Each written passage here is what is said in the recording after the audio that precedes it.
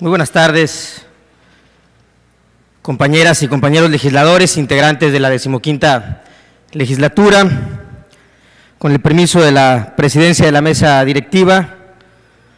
saludo con gusto al público que nos hace el honor de acompañarnos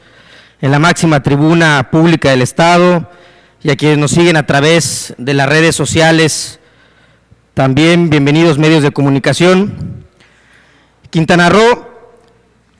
vive una etapa de transición en todos los sentidos.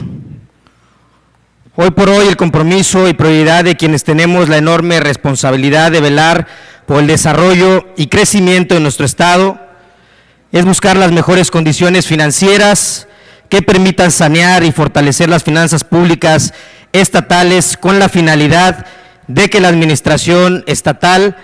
cuente con la capacidad económica para atender las principales demandas de los quintanarroenses. Sin duda alguna,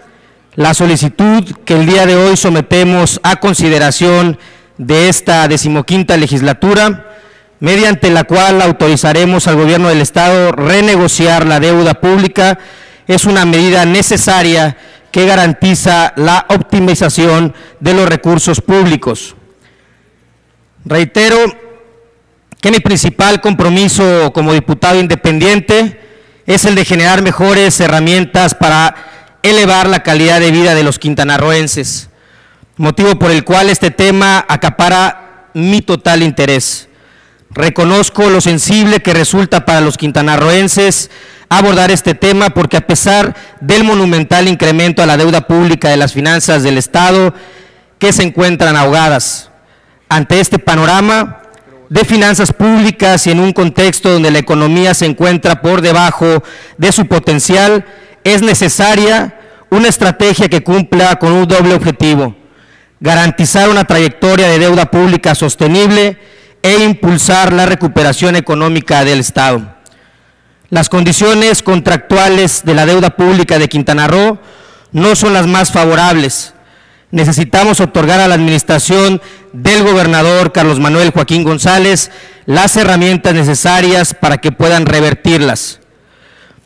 Las condiciones financieras del Estado están siendo impactadas por la volatilidad de los mercados internacionales y en el caso de no actuar en los próximos meses, Quintana Roo tendrá problemas para pagar su deuda, por lo que nos vemos en la urgente necesidad de buscar mejores alternativas que no nos impacten tanto en la disponibilidad de los recursos. La solicitud hecha por el Poder Ejecutivo es acorde al citado escenario porque propone el acceso a mejores condiciones de mercado a lo originalmente pactadas, todas apegadas a lo que dispone la ley de la disciplina financiera. Refleja una mejor tasa de interés, un plazo y perfil de amortización más accesibles, así como otras garantías o condiciones que sustituyan las del financiamiento original, ya sea con el mismo o con un diferente acreedor que permita renegociar de manera importante en consideración a los flujos de las participaciones federales que corresponden al Estado y que hoy son utilizados como garantía y o fuente de pago del servicio de la deuda. Cabe señalar que recientemente esta legislatura aprobó el paquete de reformas en materia de disciplina financiera,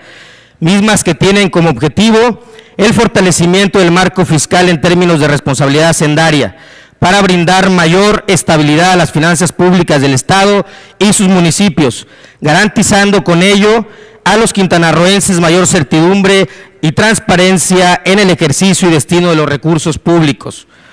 A través de la renegociación de la deuda pública, el Poder Ejecutivo tendrá la oportunidad de generar políticas públicas que impacten directamente en el bienestar de quienes habitamos en este bello Estado. Seguramente esta acción reencauzará a Quintana Roo en la ruta del progreso, permitirá a los miles de quintanarroenses gozar de mejores servicios públicos, contar con más instalaciones educativas, hospitalarias y espacios deportivos y culturales para brindar mayor atención al tema de seguridad pública que debe de prevalecer en un estado como el nuestro. Con acciones como esta, lograremos que Quintana Roo se lleve a cabo programas sociales que beneficien directamente a la sociedad y que poco a poco acorde a la enorme brecha de desigualdad que existe y los grandes retos que en este momento el Estado presenta. Contribuyamos para regresarle la solvencia económica a Quintana Roo y que en un futuro nuestros hijos se sientan orgullosos de nosotros. Por ello, hoy refrendo mi compromiso con la ciudadanía para que de manera conjunta con quien hoy encabeza el Poder Ejecutivo, logremos un gobierno ordenado y que con cada acción se traduzca en un beneficio significativo para la sociedad. Compañeros legisladores, mi voto a esta solicitud es a favor de la autorización. Seamos hoy, junto con el Ejecutivo del Estado, los promotores de las oportunidades, de acciones que beneficien de manera igualitaria a todos, pero también ser guardianes de que las buenas intenciones dejen de ser parte de un discurso y se conviertan en una realidad con visión de futuro. Muchas gracias, compañeros y compañeras. Gracias, diputado.